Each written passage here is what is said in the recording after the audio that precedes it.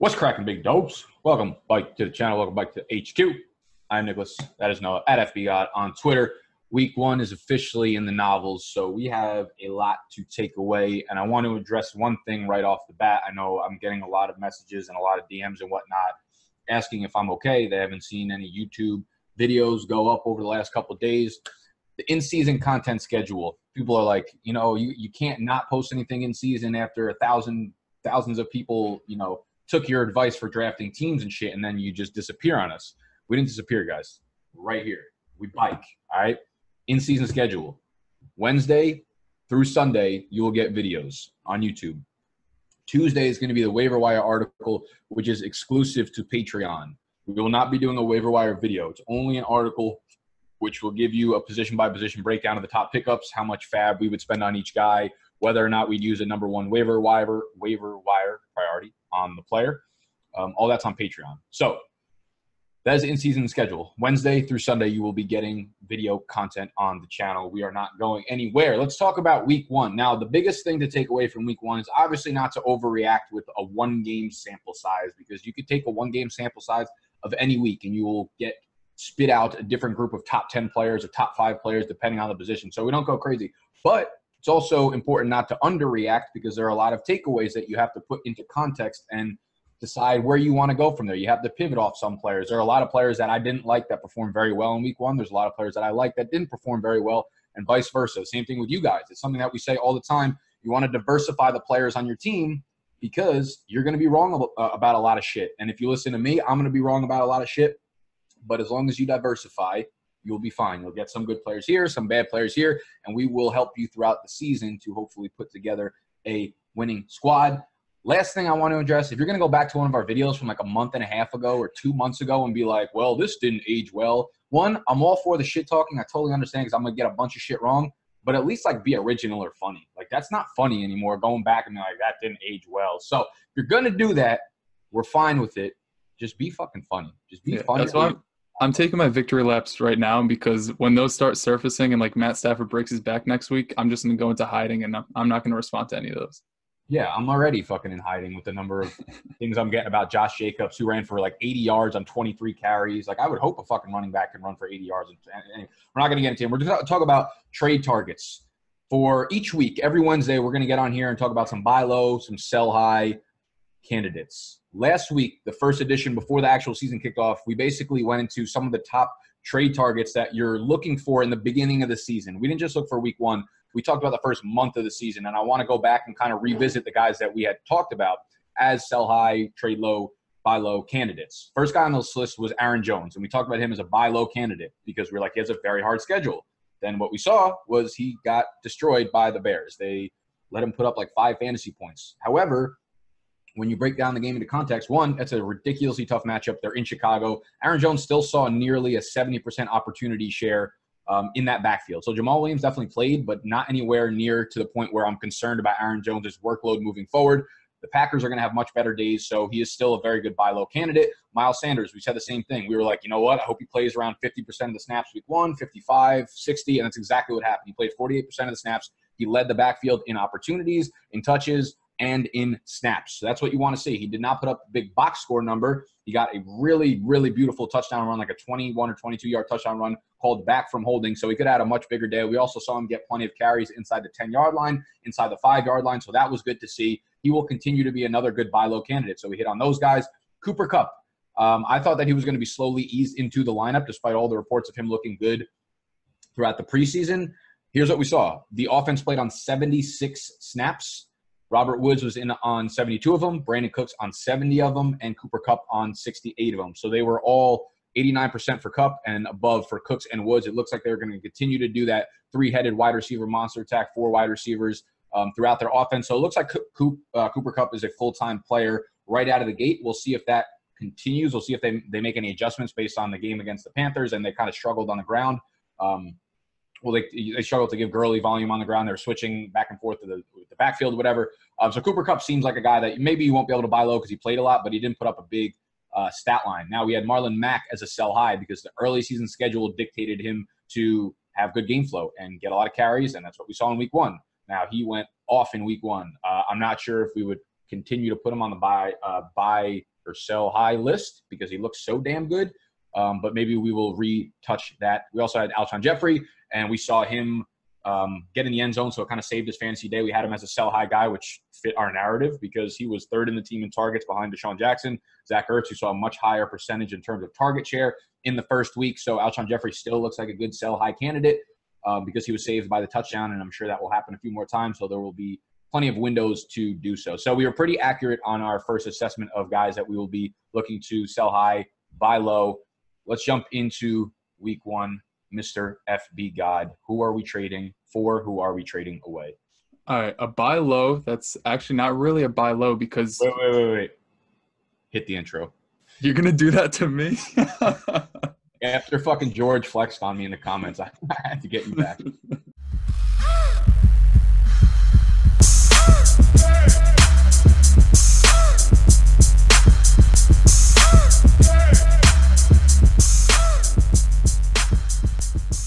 All right, we're gonna start with Damien Williams, who before I was rudely cut off by my by my co-host who runs this channel can just fire me in two seconds.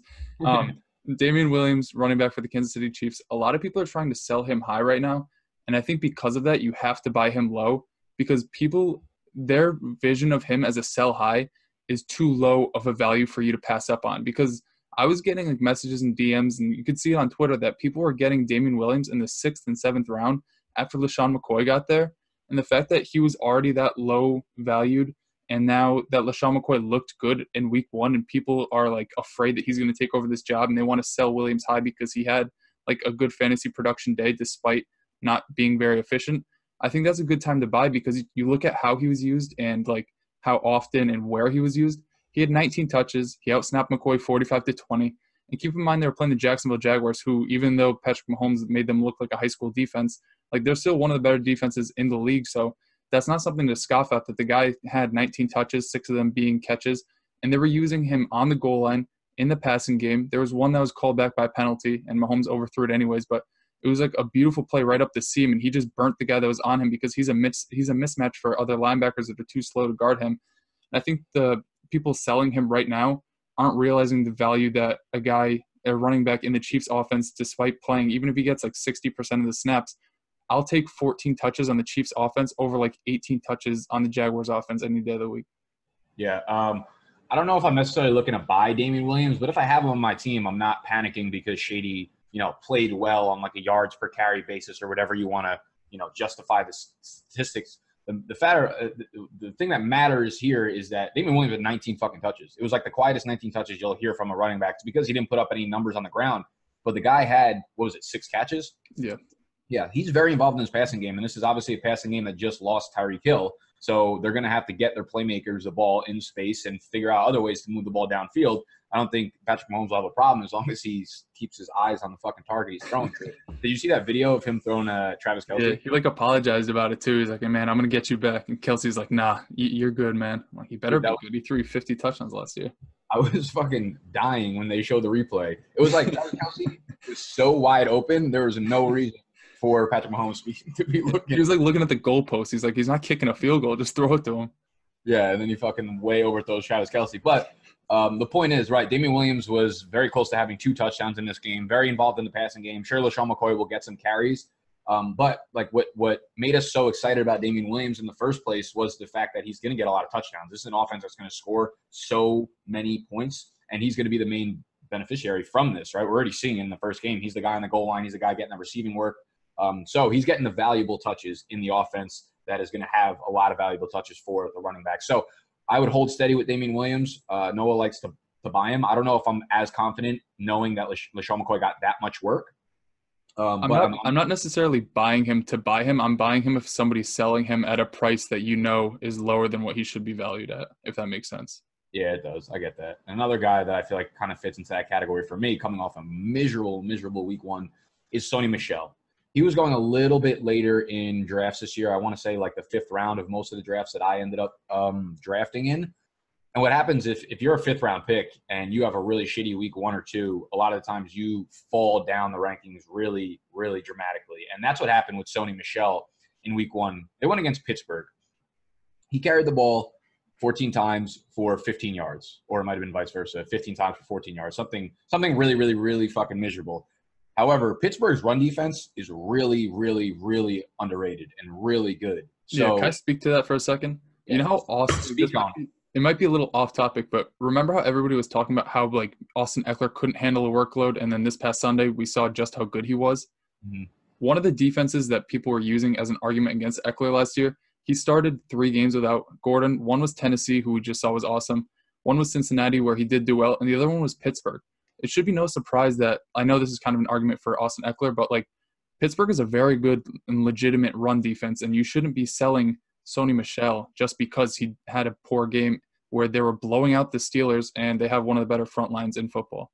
Yeah, I mean Pittsburgh's run defense is no joke, and I think people will realize that sooner rather than later. And this game just dictated that the Patriots were going to throw the ball. I think like by the time they got into you know the second quarter, the second half, they realized they're like we're not going to be able to run the ball at all on this team, so we're just going to throw the ball you know a, a bunch of times, and that was what their um, that was what their offense really revolved around. Now, when you look at Sony Michel and the rest of the matchups, I mean they get the Dolphins now, and like Sony Michel might end up getting in the end zone between four and six times because Yeah, I see your write up. It says Dolphins just let up about 98 points to Mark Ingram. Yeah, exactly. So Mark Ingram, and that's another guy who I was not high on, and people are like, "Oh, look what he did." I'm like, dude. First of all, Mark Ingram was splitting the carries on the first drive with Gus Edwards right off the rip, and they were going against the Dolphins. But point about Sony Michel is like they get the Dolphins, then they get the Jets, then the Bills. Um, the Jets just let up like 28 yards per carry to Devin Singletary. Like that's not even a fucking exaggeration, which is the sick part. Um, you have the Bills who just let up a ton of yards to Le'Veon Bell as an all-purpose back. Uh, none of these, you know, uh, the the point is like all of these games, Dolphins, Jets, Bills, Redskins, Jets, Browns, are all games in which the Patriots are going to be heavy, heavy, heavy, heavy favorites, right? And they did end up blowing out the Steelers, but they did it through the air because they're such a good run defense. Now, Sony Michel gets this light schedule. Um, they are 17 and a half point favorites against the Miami Dolphins in week two. This is the most they've been favored by since December 4th, 2011, when they were 20 point favorites over the Colts. So when I look at the matchups coming up, like, yes, this was a really tough game for Sony Michel. I don't think in any circumstances you're looking to sell uh, Sony Michel right now because of the slate that you're about to have for the next six weeks. I mean, Damien Harris, which was his, supposed to be his biggest competition going into the year, was a healthy scratch because the guy doesn't play on special teams, and clearly that means that they think he is a full full step behind Sony Michel in terms of the running category. So he got no room here. Um, he did not perform well in this week one, but he's not someone that I am panicking on quite yet because he is a high end RB two, probably RB one um, upside in week two. I think he probably rattles off over 100 yards from scrimmage and easily a touchdown, if not multiple touchdowns, similar to a stat line that Mark Ingram had in week one. So Sony Michel's a guy I'm looking to get on the low. Yeah, with Sony Michel, there's not a lot of running backs that I want to buy in on that don't catch passes. But if there are any, it's like players on elite offenses, and that's exactly what the Patriots are, especially with Antonio Brown not coming into town.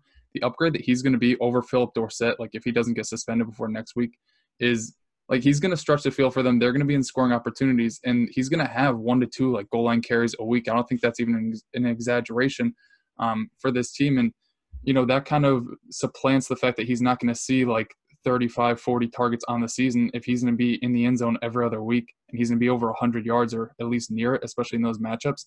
Um, he's going to be a guy I'm buying in on. Now, a guy who doesn't have pass catching ability, despite what he saw last week, is Derrick Henry, Max the Animal's favorite player of all time.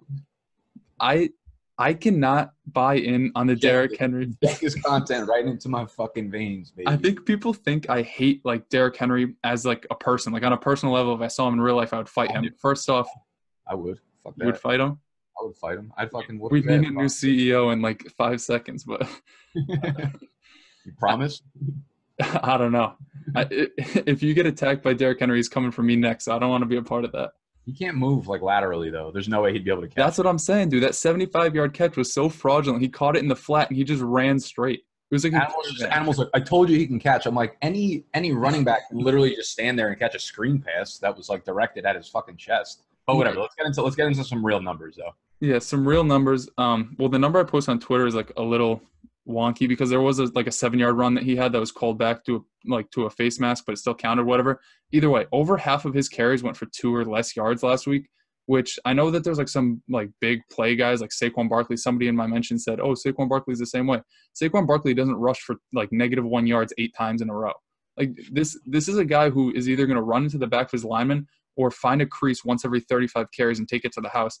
And that's not a guy I'm going to be betting on week after week. I know, like as an RB3 or flex, if somehow he fell to you at that range, or maybe he's a keeper, um, of course you're going to start him there. But as an RB1 and RB2 in your offense, you're really banking on like big upside plays from him, which there's only a few guys in the NFL that I would really rely on those on. And either way, like a Saquon Barkley, he's going to give you something in the passing game. The other part that's not so underrated, but you got to realize is the Titans won this game by 30 points. How many games this year are they going to be up by 30 and just have the luxury to run the ball with Derrick Henry? Like you look at their schedule, right? The Colts next week, that's going to be tough. Jaguars suck. Uh, Falcons, they looked bad, but they always start a little bit slow. Uh, whatever. I'll just go to the good offenses like the Chargers. Um, the Buccaneers will probably still be able to score, even though Jameis Winston's awful.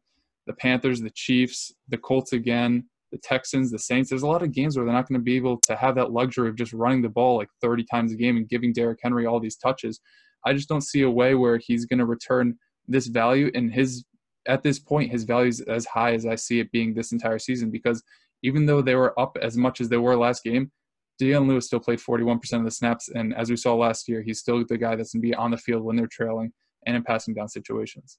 Yeah, that's that's the scary part is the fact that like despite having the most ridiculous game script for Derrick Henry, and he did what he should have done in a game script like this. Like, there's no doubt he put up a ton of fantasy points. If you had him in your lineup, obviously you're fucking happy about it. But we're looking about we're looking at what's predictive going forward, and you see him splitting the snaps 60 to 40 with Dion Lewis in a game where um, they should have absolutely, you know, given Derrick Henry 25 plus carries, and that should have been I mean, he should have been playing on every single down. There's no reason to put Dion Lewis in passing situation. Also, think like a big reason I argued against Derrick Henry this summer was fact that like I don't think this offense is really. I mean, they're definitely not as good as what they showed on Sunday. Um, and from a negative standpoint, like they're not going to be putting up you know this many points on a week to week basis. Maybe they're definitely going to be better than I originally thought they would be. But I don't think we're going to see a lot of games that end up like this for Derrick Henry. Now, when we're looking at the snaps, it is 60 40. I'm looking at routes run by both running backs, and they both ran 10 routes in this game. So it's not like Dion Lewis actually got more passing work, although he was targeted four times compared to Derrick Henry's two targets. Um, they both only ran 10 routes on the game, which among qualified running backs was 38th. They were tied for 38th among running backs in the NFL in terms of overall routes ran. So I think like you could say like, oh, you know what, they went very low volume on the passing game, but that's what their offense is going to probably be. You know, um, they're not trying to throw a ton of passes. They're not having to try to have Mariota throw the ball 35, 40, 45 times a game. So if you think that like this recurring um, Derrick Henry catching the ball is going to be something that we see week over week, I think you're going to be very disappointed because he didn't get a lot of passing work. He, he took the one screen 75 yards to the house. I mean, if there's anyone that could just run in a fucking straight line really fast and not get tackled, it's Derrick Henry. But that's not something I expect to see over and over and over again. So, um, Derrick Henry, yeah, I'm fine selling high just because he's coming off such a, a monster game right now. Yeah, and another thing is like this offense looked good, but keep in mind – after that left tackle, I think Greg Robinson's his name for the Browns went down. They sacked Baker like three times or four times, maybe. They had three picks, a pick six, uh, a safety. Like they were just turning the ball over so much. And I know they're an elite offense, but the fact that they were in such good field position basically the entire game led to them putting up 43 points. And I don't think you could expect that even if they're going to be a top five defense this year. Yeah. Um, so, yeah, I'm, I'm cool selling Derrick Henry on the high. One guy I'm looking to buy on the low young wide receiver out of New York. That's Robby, as we like to call him, Spaghetti Anderson here in the HQ. Now, he came into the game kind of nursing a calf strain, um, and it looked like he was fine. Maybe he was a little less than 100%, maybe at like 90%, but I don't think it really hampered him too much in this game. He came away with a very, really, really poor stat line. Three for seven, caught three of the seven targets for 23 yards. Uh, so he threw up a, a, dud game statistically, which was unsurprising because you're going against his Bills offense, which or Bills defense, which houses Tre'Davious White, one of the best shadow corners in the entire NFL. So as soon as you have that kind of matchup, you know you have to be a little bit hesitant. Added in with the fact that we think he's probably nursing a calf strain, so he was an easy one to see that would probably have a, a tough week one, and that's exactly what happened. The good news, however, is that like Robby Anderson was targeted down the field. He was a few inches away from having a, a big game.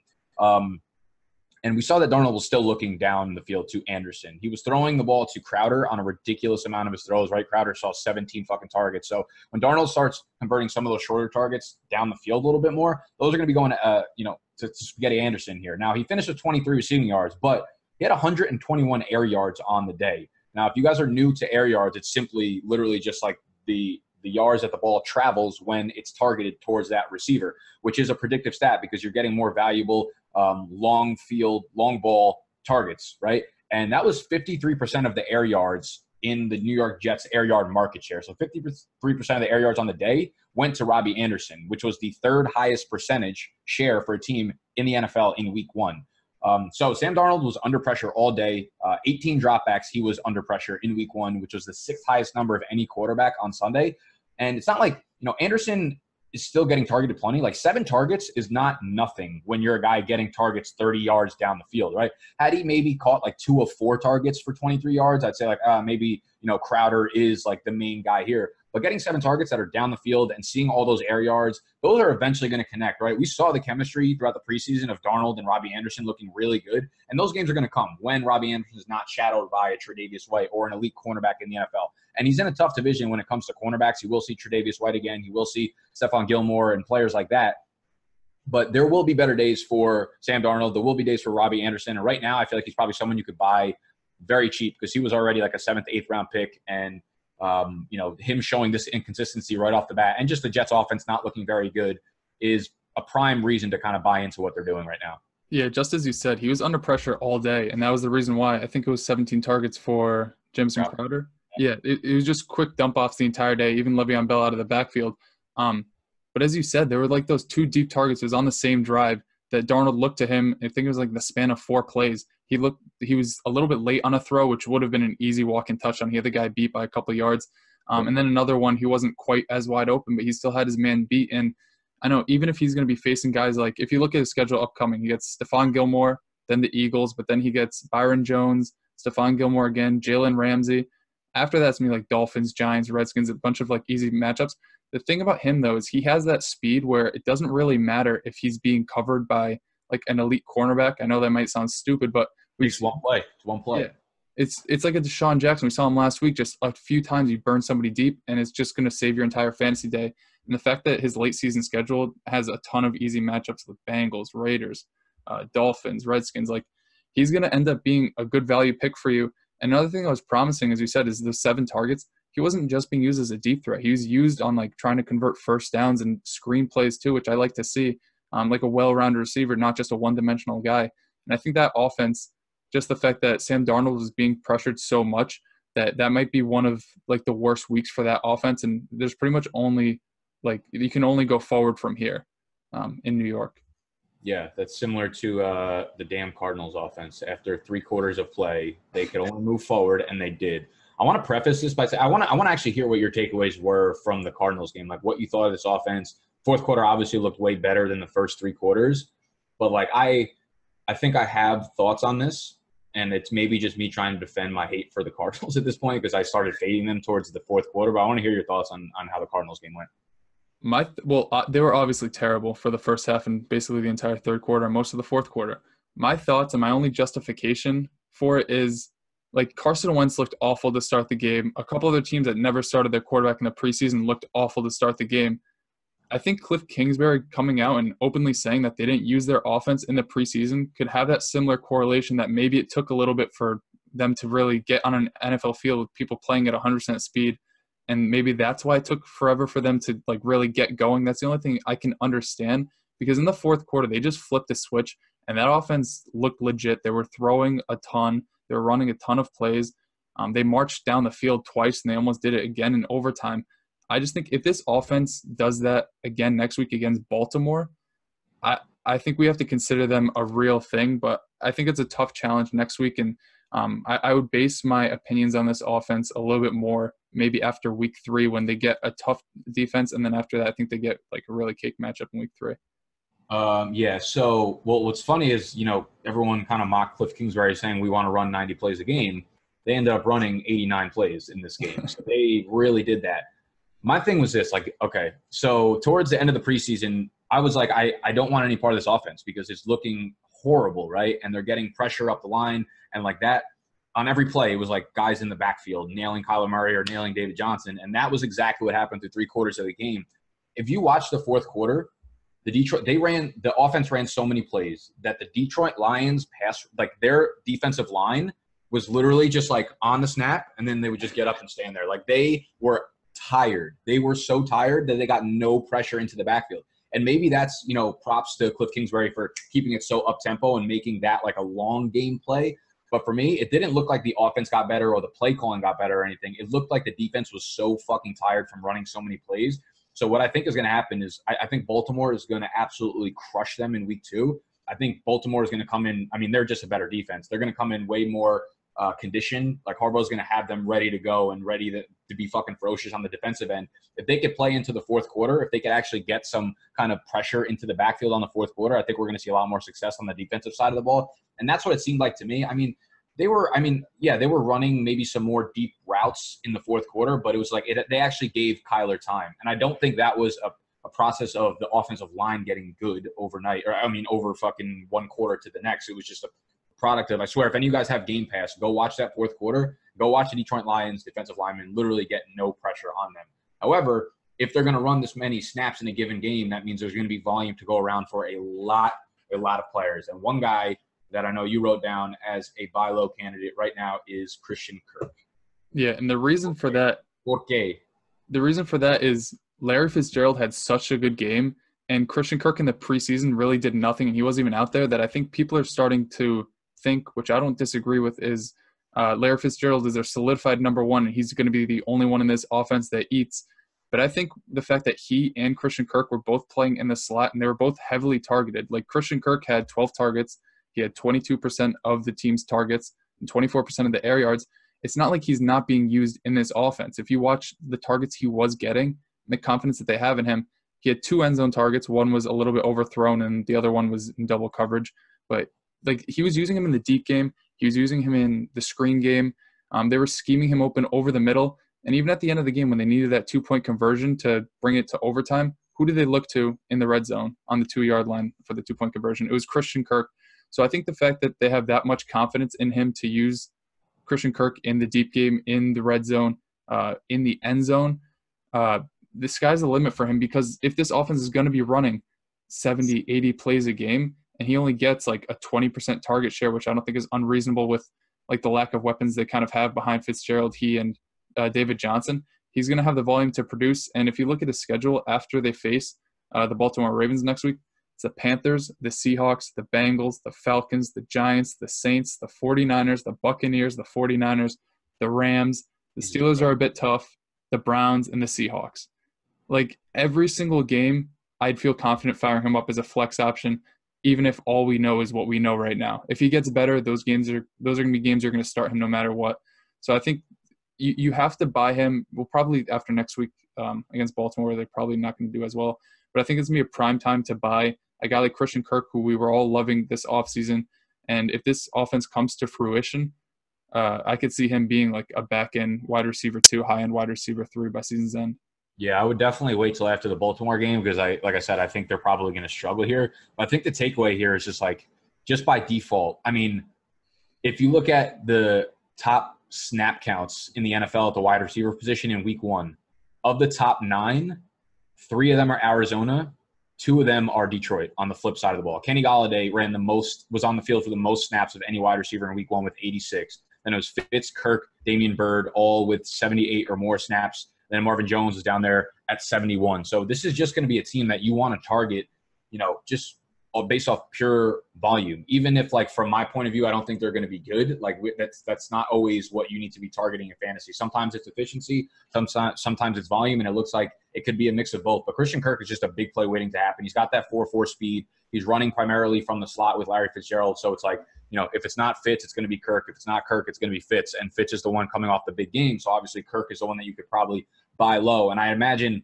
Baltimore is going to come in with a ton of pressure on Kyler. And what's going to happen when when he's under pressure? We saw what happened in Week One. He's going to go to his most trusted guy, and that is Larry Fitz. So I, I expect another decent PPR game out of Fitz in Week Two, uh, meaning Christian Kirk probably takes a back seat. But then once they fire up those ridiculously soft matchups, like you kind of mentioned for the next ten weeks, basically, that seems like it's a go time for Kirk and the rest of this Arizona Cardinals offense. So I like that. Now you have another wide receiver on this list, a sell high guy that I will have to strongly disagree with you on. But go lay out your lay out your facts.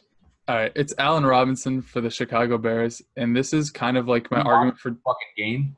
I did, and that's the problem. Is everybody watched that game and they saw how good he looked, and people are forgetting that Mitchell Trubisky is the guy throwing him the ball. Like I don't care. We he was the same situation last year. Sure, he's one more year removed from his ACL, which it, that's big. He looks so fucking explosive this time around. But Mitch, I, I just can't like I can't pay the price or pass up on deals that you're going to get for Allen Robinson, knowing that you have Mitchell Trubisky at quarterback. Like, who would you rather have for the rest of the season, Robert Woods or Allen Robinson? Robert Woods, for sure. Brandin Cooks or Allen Robinson? That gets closer. That gets closer for so? me. Yeah, Woods is definitely the one that I want in in LA. It was it was Cooks going into the season. I need to see a little bit more out of fucking Jared Goff because Jared Goff's you know what it is like his splits when he's on the road versus at home and stuff just get real wacky. And uh, I did not like what we saw from from Cooks in Week One. Obviously, I'm, I'm not like you know freaking out about it, but Woods is the guy I want. Allen Robinson though, it's just like look at the rest of the passing offense. Who else does he throw to? Trey Burton's hurt. Adam Shaheen's not really like a downfield receiver in the league. Tarik Cohen. Exactly. You have Tarik Cohen, but he's getting targets that are like two yards away from the line of scrimmage. So the only guy getting peppered with targets down the field is Allen Robinson. And uh, I, I don't know. I don't see that stopping anytime soon. Even if like you know he's only getting seventy percent rate of his catchable targets, like he looks super explosive. A guy that's making plays after the catch, a guy that can go up, even if they are erratic throws. He's one of the you know best jumpers. He's someone that can get up and get the ball no matter how fucking far away it is because his arms are long. He jumps really high. He's super athletic. He's fast down the field. So he has a lot of different ways in order to get to balls that are erratic from Mitchell Trubisky. So I get what you're saying. Like you don't want to buy like if if you can choose whether or not to buy into a wide receiver with a bad quarterback versus a good quarterback, yeah, like we'd like to go with a good quarterback. I just think I don't know. I, you're right. Like we all watched it, so we saw how good he looked, but I just feel like he looked too good in order to be like I want to get rid of him now. You know? Yeah, I think it's the fact that a lot of people are just sending offers to try to acquire Allen Robinson because because like a lot of people are hyping him up as a guy who's the second year off his ACL, and we saw how good he was on that Thursday night game, but keep in mind Green Bay doesn't have the best secondary apart from like Adrian Amos and Jaire Alexander, who wasn't shadowing him.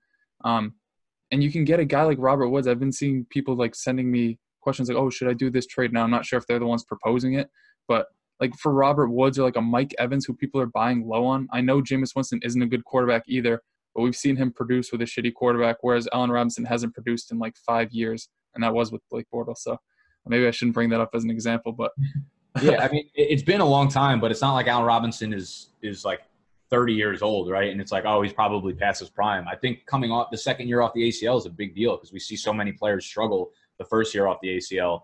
Um, so the way I look at it is he he looks back to form, whereas like the last year, the year prior to that, when he got hurt, it never looked like he was the old Allen Robinson. He looked a little bit sluggish. He wasn't as explosive. And in this game, it was just like, holy shit, everything thrown his way that was catchable was was getting caught, and he was breaking off big plays and shit. So um, he just gives me a little bit like Corey Davis vibes, and that's giving me a little PTSD. And I just like he saw like 40% of target share, not that much, but like like a 32% target share last year in Tennessee with an equally bad quarterback, and he didn't do much with it. And I'm just not sure you're gonna be able to trust Allen Robinson as a wide receiver too for the rest of the year. But we've also seen Allen Robinson already do it. Like Corey Davis, we're just like excited about him because of the draft capital. Had Corey had Corey Davis been at the end of the first round or something, like still exactly the same player, if he was in exactly the same situation, but he wasn't, you know, a top whatever he was, five or six pick overall. Like we wouldn't be hanging on to Corey Davis' storyline for so long. I know a lot of people loved him coming out of school or whatever, but I, I think like AJ Brown is already the better wide receiver on Tennessee. Like I would, I would rather have a grip on him. What's that? Not, not, to like move away from Allen Robinson, but AJ uh-huh. Brown looked so good. AJ he, Brown looked so good. The whole, all the rookie wide receivers. This was like the the fucking week of the rookie wide receivers. is insane he reminds me so much. I'm not sure if this is a terrible comparison, but like of Josh Gordon. Like he just looks too big, too physical for yeah. like anybody to tackle him. And in the open field, he's so elusive. He's a guy that I'm gonna try to get off the waiver wire. I know he didn't play too many snaps, but he looks to be like Marcus Mariota is one of his safer options because he can run all over the field. And Corey Davis wasn't really used all too heavily last week, and I I don't think that's a far stretch to say that uh, AJ Brown is their best receiver.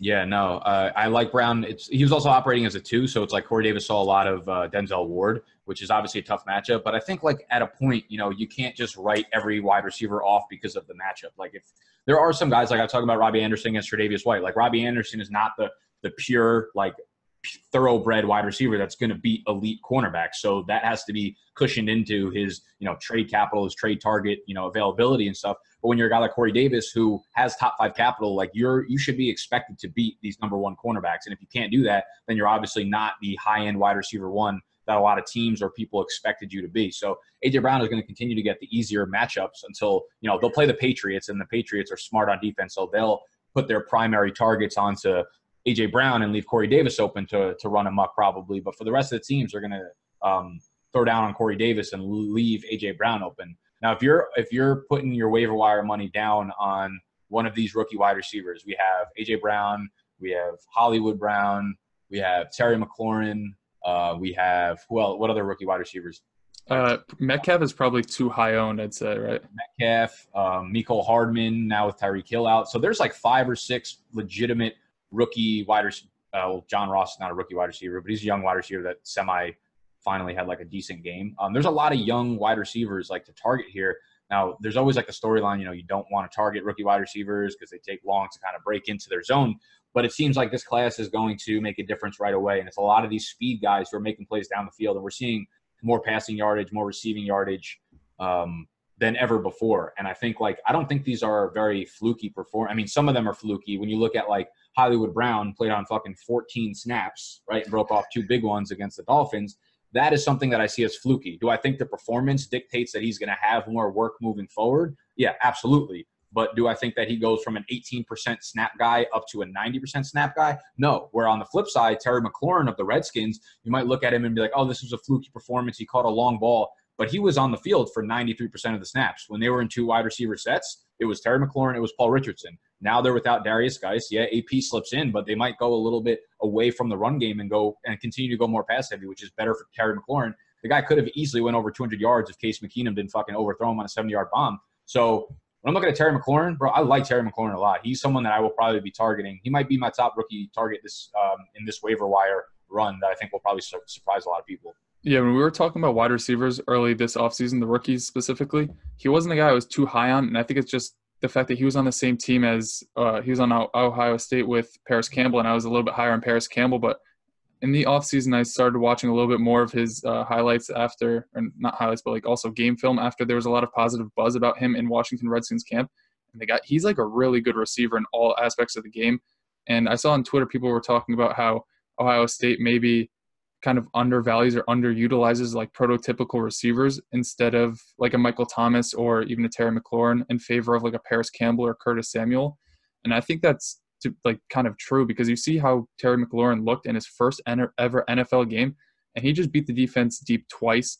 Um, the other one that was overthrown, he had like five to ten yards of separation. It wasn't even close. It was just a bad ball, and I think he was out there 93% of the time, and he got a decent chunk of targets. I think it was either five or seven targets, but um, he's a guy I'm buying in on because he could easily slot into that number one receiver chair there. And I know that's the same for Mark uh, Marquise Brown, uh, Hollywood Brown, but I just don't see the Ravens ever throwing as much. Well, they only threw 20 times, but I don't see them ever being in as favorable of a matchup as playing uh, Miami again, where that team just didn't want to cover anybody. And he broke off like his first touchdown. He just broke an arm tackle where they had no safety help over top, and he just ran into the end zone. And he only played like eight pass snaps. So I, I again, I don't see him playing like 80% snap share. So I would take McLaurin. And if we're lumping in DK Metcalf into this group, I just think he's way too big, way too physical, and he matches up with Russell Wilson's skill set way too perfectly for him to be a guy who's gonna bust because he looked he looked like a man amongst boys out there and he was just bodying cornerbacks. It was it was a it sight was, to see. It was uh I, I was like, dude, how like I thought Lockett was going to be bust proof. And I mean, he ended up catching that 45 yard touchdown pass. So he came away like, okay, you weren't killed as a fantasy owner, but one fucking target. DK was the only wide receiver on the Seahawks to notch a target prior to the fourth quarter of the game, which is insane. But after the game, they were talking to Tyler Lockett, and he was saying that he kept receiving um, double yeah. coverage. Devin Booker treatment, double cover him. Double, they just double covered him, took him out of the game. He was saying he's like, yeah, I haven't had that in years since back in college, back in high school. Like I haven't had double coverage, and obviously he hasn't had that because he had like Doug Baldwin or other weapons on the team where he didn't need to, and now he's the number one. So he's seeing this uh, this double coverage, and that kind of has me a little bit worried as a as a guy who I mean I didn't get him in that many places, but he was definitely someone I wanted to get, and I told a lot of people to draft. Now I'm not freaking out obviously because I think you know they'll be able to adjust and Um, their game plan was clearly to go in and run the ball down the throats of the Cincinnati Bengals, and the Bengals held up pretty well compared to what I thought they would do. Um, but overall, I mean, it was it was what Russell Wilson we thought it was going to be, where he threw the ball what 20, 22 times or whatever in this game. It's like, shit, if that's really going to be it going forward, and he needs to be split. I think we'll see probably a near even target split, maybe going forward between Tyler Lockett and DK Metcalf. But man, Metcalf did look really, really, really, really, really good, and he couldn't have landed in a better situation. I know we both like none of us really liked him here as a prospect coming out, just because there were so many. There was the injury concerns, and he's already dealt with a bunch of different things. He banged up in the summer, but there was the fact that like he didn't run a lot of routes. But it's like he lands in the Seahawks, and we all kind of changed our tune and are like, you know, if there's somewhere he's going to go, it's to Russell Wilson, one of the most efficient, accurate downfield throwers, which Mac matches Metcalf's skill set because we don't need him to be running posts. I mean, we don't need him to be running slants and you know over the middles and shit like that. Just get down the field and make a play over these five foot ten cornerbacks, and that's what we saw a lot of. So Metcalf's definitely a guy that uh, I don't think that was a fluky performance. But some of these other, I mean, there's just so many good options on the waiver wire, and we actually just had breaking news come in right now. Oh no. Peyton, no, it's nothing crazy. Patriots are trading wide receiver Demaryius Thomas in division to the New York Jets for a 2021 sixth round pick. So, they just got an older version of Quincy Enunwa. That's pretty good, I guess. Exactly what they just got. Um, now Demaryius Thomas, like I'm, I, am i am shocked that they just took a flyer on him. I mean, the Patriots obviously when they originally signed him, that was all it was was a flyer, maybe a veteran presence or something like that in the locker room because they really had no one there. You know, Rob Gronkowski was leaving. All they had left was Julian Edelman in the locker room. But like Demaryius Thomas, he had that like I people were going nuts about the fourth quarter preseason game or the fourth preseason game that he had where he caught like 77 yards worth of balls and two touchdowns. But like if I was following all the doctors on Twitter and they're all just like, yeah, you could tell he wasn't planting hard. He couldn't even jump off the ground or whatever. So he's clearly not back. I mean, he suffered the Achilles injury last year, and uh, I mean we saw Emmanuel Sanders come back and looks perfect, which is mind blowing. But Demaryius Thomas, I don't know. He just seems like he's someone who relies too much on his like physical traits in terms of like speed and explosiveness. Um, and he's not like crafty enough to win on most parts of the field. So I don't. I, like I'm not really de- looking at anything when it comes to Demaryius Thomas, like what impact he's going to have on the Jets. Yeah, I don't. I think it's kind of redundant, but like a worse skill set than Robby Anderson at this point in his career because I'm not sure that Demaryius Thomas can turn left and right anymore. Um, whereas Robby Anderson can, and we just talked about DK Metcalf, so it's a little correlation there. But yeah, he's what was a fourth round pick. You said six round. Six. Oh yeah, that, that makes a lot more sense. Yeah, that's basically a throwaway because whoever the Jets picked there anyways wouldn't have been any good. Could have been a fourth round or a third round. It was still going to end up fucking busting. You know, you know what it was? The Patriots got Tom Brady in the sixth round, and Antonio Brown was a sixth round pick. So maybe they think that they have like a little inside info on who to choose and like pick 300. So that was just a light flex. They're like, yeah, we're going to give you. They probably were on the phone like, hey, we're going to give you Antonio Brown for Demaryius Thomas. And they're like, but it's just a six round pick. It's not actually Tom Brady or Antonio Brown. And Jets were like, fuck. We've already We'll choose KJ Costello and he'll be like the next fucking like Jimmy Garoppolo we'll trade him for something. Yeah, so we're not buying into anything that's relevant to Demaryius Thomas. Maybe it's uh, also, like I said, a, a, locker room presence because you look at the wide receivers there, and most of them are a, a, few years into the league. They don't really have a true veteran presence who's been there, who's been through the playoffs, who's done it before he could probably help out Sam Darnold as much as any of these guys in the room because Herndon's young, Jamison Crowder's relatively young, Robby Anderson is young, Quincy Enunwa. I mean, they're all they're all young. They don't have any really real veterans in that wide receiver group. So um, that I mean, if I'm looking at it, they're just hoping that maybe Demaryius Thomas can get back to health quicker rather than later. But I don't know. Fuck that. To be honest. Yeah. I don't even know why I brought that up. Yeah, there's only like there's very few parts of this Jets offense I want to buy in on. Um, even like Jamison Crowder, I'm not sure he's going to put up like 250 targets this year. So, I mean, he will. Actually, he might. Chris, yeah, as long as Chris Herndon's out, he should be eating for the first four weeks or whatever. But I believe that's all we have for y'all today. So again, every Wednesday we'll be doing a trade targets video. If you want the waiver wire article, that is up on Patreon, patreon.com slash BDGE. A lot of the analysis that we'll do over the first couple days following the week that just happened will be on Twitter. Um, we tweet out a lot of stats that we find, a lot of the research that we do for the waiver wire article, as well as these videos. You will find that on Twitter. So make sure you're following Noah at FBGod, myself at Nick underscore BDGE. Thumbs up if you enjoyed the video. Comment down below if you have any sit start questions or trade questions or whatever. Subscribe to the channel if you're new. Tomorrow we will be on with Dr. Morse talking about the injury report for week two. Lots of injuries as always. Football is bike. We bike. It's beautiful. I'm out. It's a beautiful. Later.